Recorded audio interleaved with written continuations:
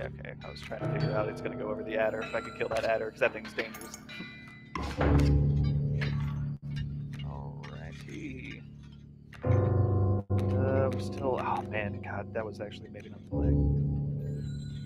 Let's just let's just go ahead. Oh no, I'm such an idiot. I had squirrels in a bottle, and I should have used them. No.